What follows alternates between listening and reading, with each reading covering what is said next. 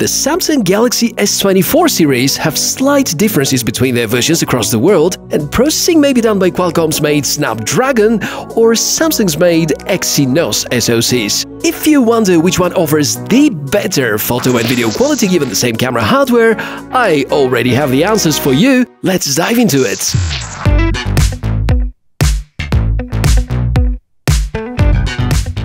So, a full disclosure at the start, this video is not sponsored by the Samsung's Exynos development division nor Samsung's Snapdragon development division. I'm saying this because every single time I make one of those comparison videos, there would be people blaming me that I'm biased, while I'm not. So, in here we have Galaxy S24 with Exynos system on a chip inside, something that you can buy in the European region, in South Korea, India, some Asian countries and so on, whereas this here is S24 Plus with a Snapdragon inside, something that you can buy in the United States, in China, Hong Kong, Taiwan and so on. And based on many reviews and my own experience, we can say that there are certain advantages owning a Snapdragon when it comes to battery life and overall performance and thermal performance and so on. The big question is whether it really matters when it comes to camera performance. These two smartphones have absolutely identical hardware camera setup. The big question is whether the post-processing made by the SoC makes any difference. We're gonna find out soon enough. Main cameras, daytime photo, and I've intentionally picked a cloudy day because texturing the white areas appears to be really challenging to be reproduced. The photo taken with the Exynos-backed model appears a bit warmer, kind of in line with the SoC's thermal performance. Unlike processors, most people kind of prefer slightly warmer colors. Zoom in and here's something interesting, a bit more details and better colors are available on the left. And despite the slightly greater amount of noise, I think the Korean-made chipset performs better thus far. The second example confirms what we just noticed. Somehow, the photo taken by the Exynos-powered S24 has more life inside it. Colors are vibrant, dynamic range seems to be tad better, even texture feels better. Another zoom in doesn't show much of a change, amount of details is about the same, with the Exynos-made photo offering slightly more vibrant colors. All of this makes me really curious about the low light photography, and well, this time it feels as if we have absolutely identical photos. Colors, sharpness, exposure, it's a match. Even if we dig deeper and analyze the photos zoomed in, there's literally no difference. Video quality shows a different picture though. Again, it's tad warmer on the left, with image stabilization which looks a little better on the Exynos side. Less details, apparently there's been more aggressive denoising applied. I prefer less grain and vote for the video on the left, but feel free to let me know which is your preference in the comments below. And concerning the main camera performance, Samsung seem to have done really great by tuning their own system on a chip. Let's go now, ultra wide. Sky's the limit, or in this case, the benchmark.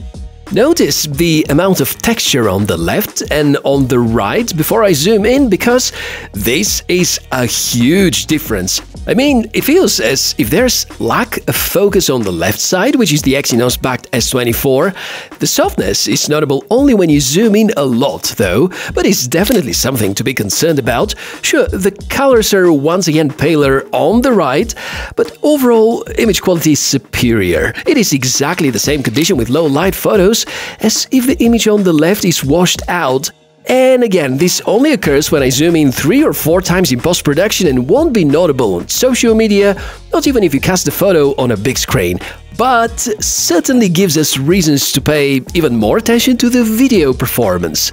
Not that we should expect something revolutionary.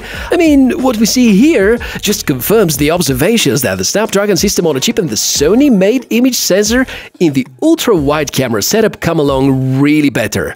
As if they belong together, with exception for the colors, because once again, I visually prefer the color science on the left. It's a lot more the Samsung way. Call it color pop, overpumped, oversaturated or whatever, but most people would prefer this kind of look on social media.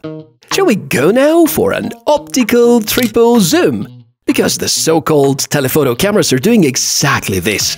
You can get much closer to objects that are far away from you, and despite the modest pixel count, this camera is capable of recording 4K video as well. Photos come first, though, and we seem to have the opposite to the previous round behavior. Sharper and slightly more detailed on the left, while the Snapdragon edition is once again going for washed out colors. Less sharpness too. Well, this would be my favorite if I pick the winner based on my professional-oriented requirements, but since what matters here is the perception that most people have about photos, it's no secret that everybody would like to enjoy bright and vivid photos, and definitely the one on the left is closer to this maxima. Video performance is even more intriguing. Yeah, daytime performance appears kind of similar with both, and image stabilization being a bit more optimal on the left, Bitrate is almost identical and far away from perfect for both sides, but well usable footage, especially if you have steadier hands.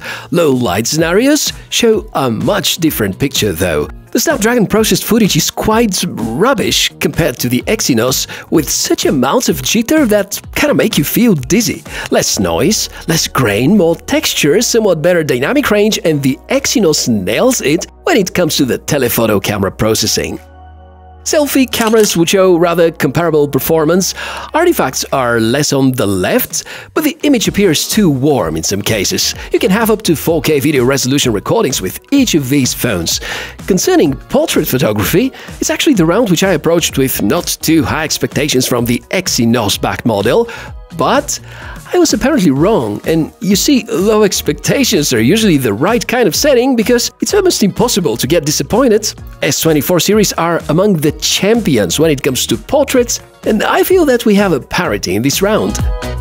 In the end, honestly, I didn't see this coming. Yes, that's that's a win for the Galaxy S24 Exynos back series and at the beginning, when I was starting working on this video, I was absolutely sure it's gonna be the Snapdragon all the way. But obviously, when we have a Samsung-made image sensor combined with a Samsung-made system-on-a-chip, it would perform slightly better in terms of processing your photos and videos.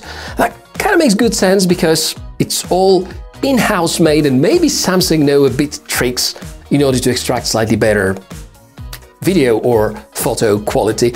And that's quite a serious relief because at the moment we kind of have parity. You know, the Snapdragon edition is maybe a bit faster, maybe a bit better in terms of battery life and thermal performance, whereas the Exynos wins when it comes to the overall camera performance. And now, now I can sleep fine.